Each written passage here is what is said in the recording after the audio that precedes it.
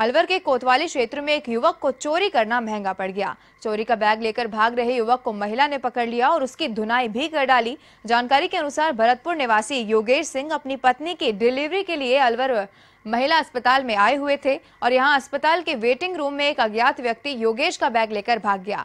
घटना के बाद महिला ने बैग लेकर भाग रहे चोर को पकड़ लिया और महिला ने चोर की धुनाई भी कर डाली।